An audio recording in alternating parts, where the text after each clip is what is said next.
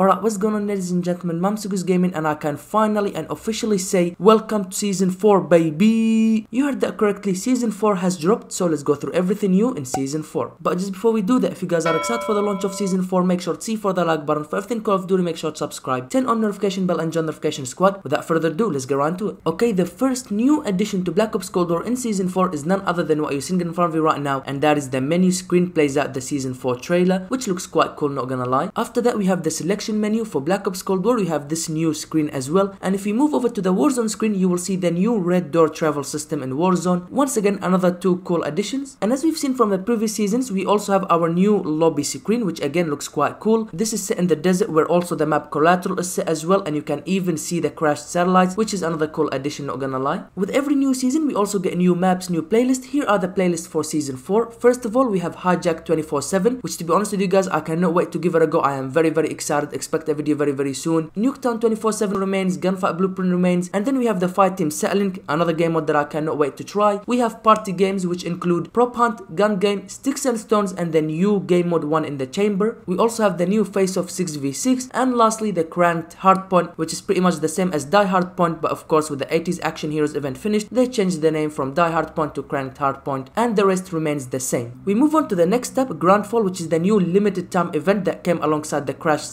in Warzone and Black Ops Cold War. And very similar to the Hunt for Adler event, you have 6 challenges that you need to complete, 3 of which are going to be Black Ops Cold War, and 3 you will need to complete in Warzone. Now what are the challenges? Well, the first one is in Cold War and 1000 points from captured uplink stations in Fireteam Satlink. Our second Cold War challenge is going to be get 250 eliminations in matches on Collateral, Collateral Strike, Hijacked or Amsterdam, basically the new maps. And the last Cold War challenge is get 15 kills with the hand cannon score streaks. Shouldn't be that hard to do. We move on to Warzone, secure 5 uplink stations. The second challenge, eliminate 10 enemies while near an active uplink station or recently crashed satellite. And the final challenge is collect 3 rewards from crashed satellites. And once you complete all 6 challenges, you will end up earning the private party Magnum blueprint, which I'm not gonna lie, looks quite cool.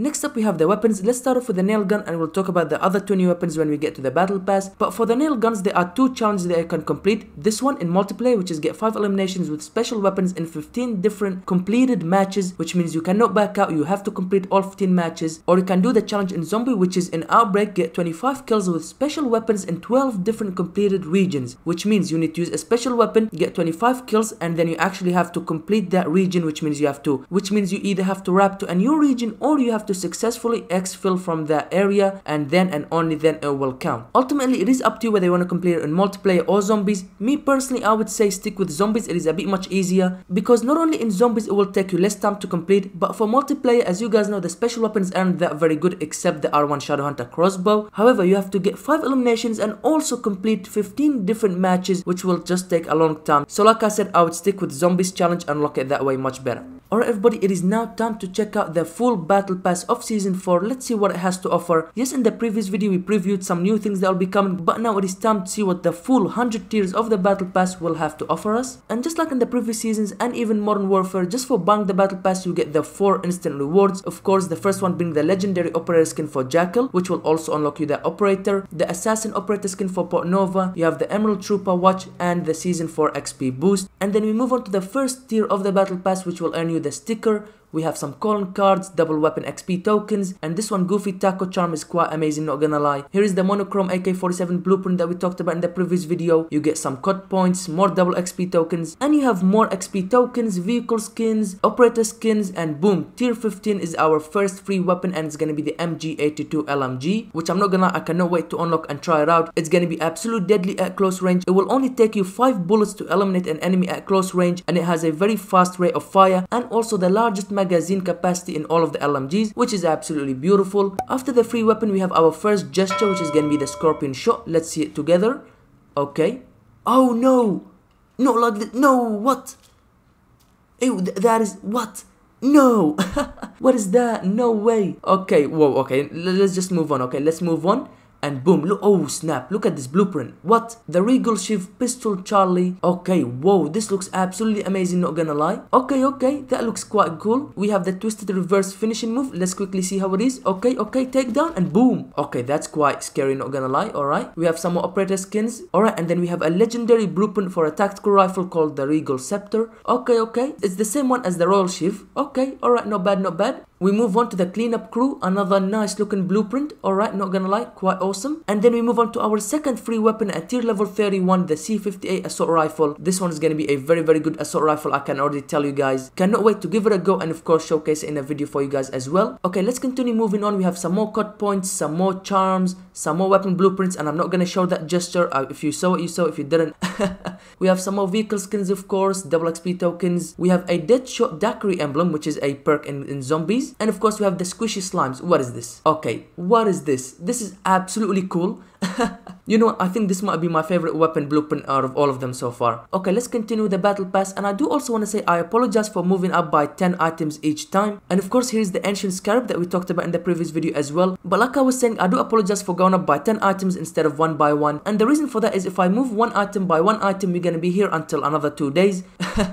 So yeah, that's why instead of going one item, I'm going up by 10s. Of course, we have Black Ops 4 mixtape right here. And as usual, the whole battle pass is filled with double XP tokens, COD points, which you will earn 1300 COD points just by going out through the whole battle pass, which is always amazing. Some more blueprints, some more operator skins, which all look quite cool, not gonna lie. And there it goes, almost at the end of it. 92, you get the flamethrower calling card. And talking about the flamethrower, it was actually leaked that was coming since before season 2 and we are in season 4 and it is yet to come. And there it goes, at tier 95 we have our first ultra blueprint for the new LMG MG82 and not gonna lie, it looks absolutely crazy. Alright, let's see all the stages. You have this one, the first stage and boom, once you get 6 kills, now here at 9 kills and boom at 12 kills you have the real spinning on the weapon, the weapon brighten up a lot and it looks absolutely beautiful. There it goes 9 and boom 12 right there. Once again looks very very cool, cannot wait to try it out. And to finish it off you get some more double XP tokens, all seeing eye, okay charm, alright alright. More COD points, the destroyer emblem and boom finally the ultra operator skin the iridescent which actually lights up just like you're seeing in front of you right there boom there it goes that's these are all the four stages of it which looks absolutely cool not gonna lie. And finally in terms of weapons we will get the forgotten oasis. We also talked about it in the previous video. Alright looks beautiful again. And finally the takeoff dirt bike and the season 4 emblem. Okay if i must tell you guys i think out of all the seasons so far i think season 4 is the best one. If you haven't bought any of the previous battle passes make sure you buy this one because some of the things in it are absolutely beautiful. For example this operator skin and of course the new ultra blueprint mg82 lmg it is absolutely worth it i would say this season. If you want to buy it buy this season. And when it comes to the bundles we'll have two new bundles so far until more are added in season. First of all we have the circuit board reactive bundle which will feature two weapons emblem calling card charm and a sticker and it will set you back 1600 COD points. And the second bundle is going to be the framework bundle which will of course feature the new nail gun. Alongside the nail gun you will get the switcheroo finishing move. Let's see how it goes. Okay boom. Oh oh snap. Oh okay. Final headshot. Okay we have the celebratory smoke gesture. All right let's see what it is. Okay. Okay you know what, that's cool. Oh snap. Okay beautiful we have the horrible timing accessory, another emblem, calling card, and of course you will get two battle pass tier skips, and this bundle will set you back 1000 COD points. I must tell you guys, season 4 is shaping up to be one hell of a season. So far it is so good. The battle pass is good, the weapons hopefully they'll be good as well. We have the nail gun which is gonna be absolutely amazing, hijacked as well. But yeah, so far season 4 is looking like it's gonna be an amazing season. I cannot wait to get into the maps, try the new weapons, and of course give you guys content on it as well, so expect that and stay tuned. But with that being said, thank you guys for watching this video, and if you guys are excited for the launch of season 4, make sure to see for the like button for everything Call of Duty, make sure to subscribe, turn on notification bell and join notification squad, and I'll catch you guys later.